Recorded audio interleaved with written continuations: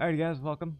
Uh, this is a little different. I usually stream, but I figured I would do a video this time because I've had a lot of people requesting to see what my build is. And, I mean, hey, if you want to see how to do it, then that's fine. So, I'm going to start off with the easiest thing is just going to be, these are the passives that I have. Uh, some of them, I think all but one of them is actually pretty easy to get. Uh, I do have one from New Sirocco,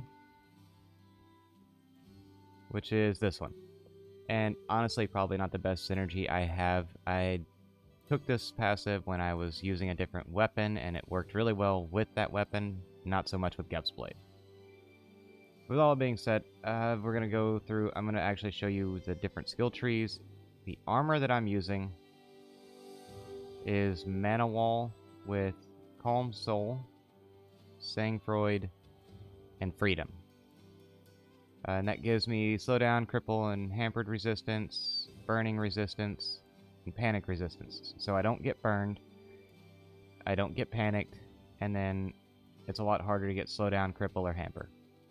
Uh, Forge Glass Chakram inflicts hampered. Gep's Blade is not enchanted. Gep's Blade is also a bitch to find.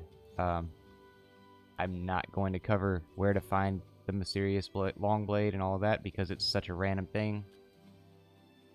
But it is in Caldera. Uh, none of this equipment was found by this character. It was all from my other one.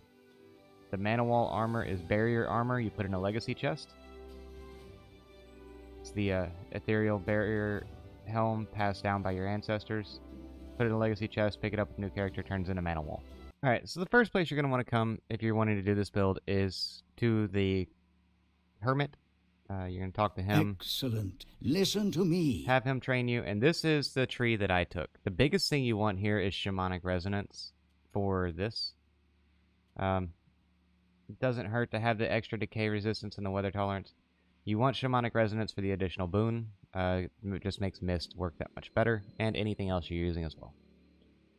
Infuse Wind, uh, to me, made more sense than the Sigil. And then Conjure just so you get the extra little person. But yeah, that's about... Uh, that's... Just grab the whole tree if you can. Uh, this won't be your first character if you're using Mana Wall, so yeah. Alrighty, and your next your next stop for skills will be right here. You're just gonna grab... Hey there!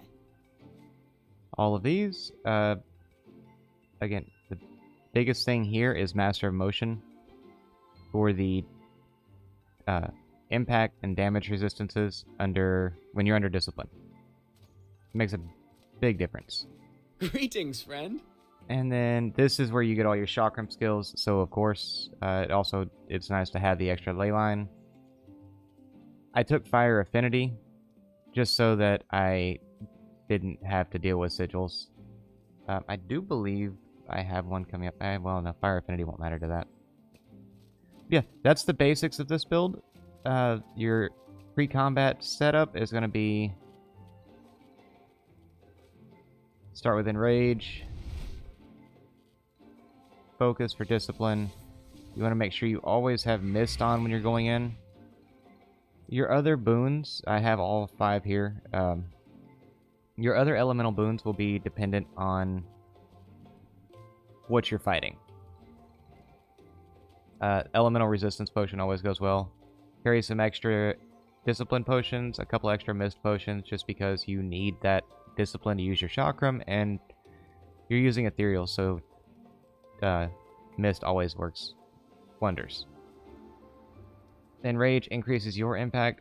Stability potions work really well with this build also, because they don't have a lot of... Um, you don't have a lot of impact resistance off the top if I remember correctly. Uh, I don't... There's not a way to view my actual... Yeah, there is.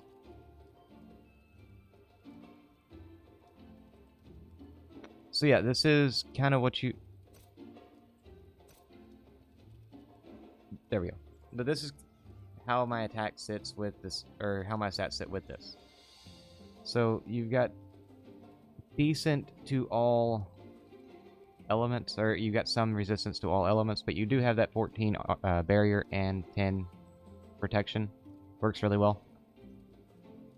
But yeah, uh, this is my build. This is the one that's taken me through co-op with Dead Willpower through the entirety of my faction quest. I still haven't done Rest and Revenge or Caldera with this character, but I'm planning to. And though I've had a couple of defeat scenarios, for the most part, you don't have to worry about it. It's very, very tanky. It deals a lot of damage very quickly. If you want to try it for yourself, go out, you know, go out there and grab it. See what you think. But anyways, guys, like I said, videos aren't normally my thing. I'm I'm a streamer, so this is probably clunky as shit. Anyways, thank you so much for watching. I hope this answered the questions some people have had. Look forward to seeing everybody next time. Until then, as always, have a wonderful night. Have a wonderful day, because I'm uploading this in the middle of the afternoon.